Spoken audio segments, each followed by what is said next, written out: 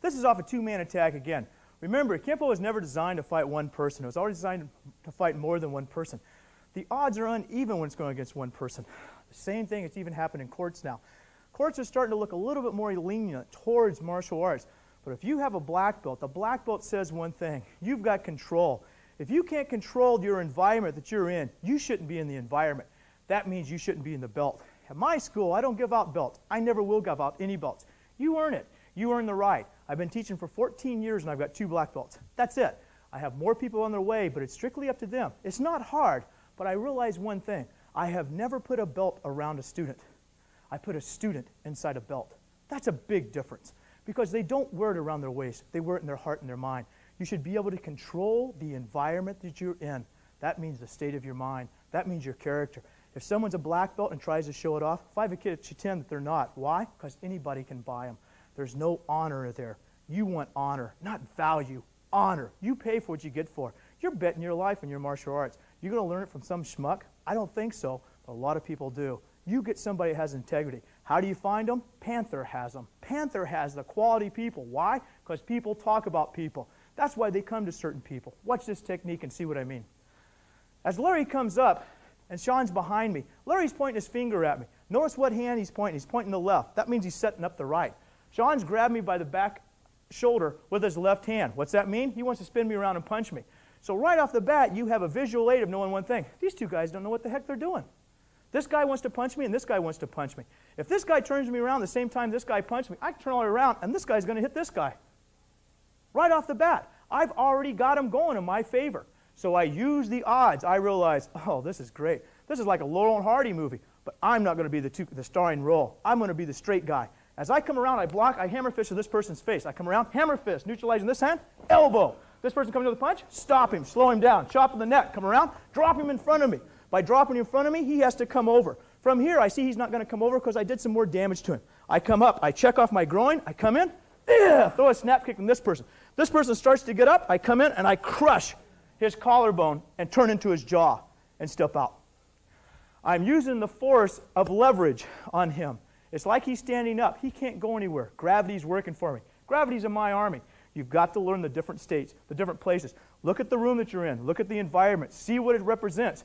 Those are things that you can use if you know how. If you don't, they're going to be used against you.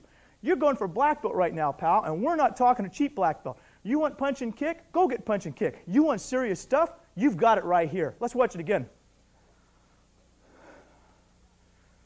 Larry comes in. We've already established. He's pointing his finger. It's a very, very important thing to say. Larry's talking right now. Chances are he's going to be moving his mouth. It's impossible to hit somebody that's talking to you at the same time. While he's talking, I move. Hey, is that self defense? It's offense. He can't hit me while he's talking. I'm safe. Wham! Come around. Strike. Come in. Snap kick. Lock. Strike. Take him down. Yeah. Come up. Check off. Thrust kick. See a movement. Come back. Pin him down. Snap his neck. Come off. If the person's talking, they can't hit you. When they stop talking, you're in trouble. You respond before the act even happens. They already created physical assault. They're assaulting you. Your odds are on your side. Let's try it again. As we come in, we have this side right here so you can see it. You have two angles. They do a very, very good job here, but you've got to see a little bit more and look. That's why you want to watch it in a relaxed state of mind. So Larry's here. I check the arm down. I hammer fist the side of the head. If I hit him in the temple, I don't have to worry about the next moves. He's dead. It only takes 40 pounds psi to kill somebody in the temple. An average man has enough power of 120 pounds. If I hit him right, he's dead. If I hit him in the ear, his equilibrium's gone. If I chop him in the neck, I can snap his neck. Check down the arm. Same thing to this side. Those are two kill blows. It's intentional. Hit.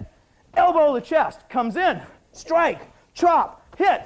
Take him down. Hit into the mastoid. Come over. Check. Thrust kick. Come up. Smash him back down the back of the neck. These techniques are designed for one thing hurt, maim, and kill. We're doing kill right now. I never want to kill somebody, and I want to put the emphasis on that. And I never have killed somebody. But yes, I've been in a lot of street fights, and they're not fun. If you're doing it for victory, I don't want to teach you. But if you're doing it to protect your child and your family, I'm your person. I'm going to do it. I care about you. You better care about yourself, and you better care about yourself more than I care about you. This is serious. Listen to my voice. Look at my face. We're talking business right now. Kenpo, yeah, it's awesome. It's power. You better know how to control it.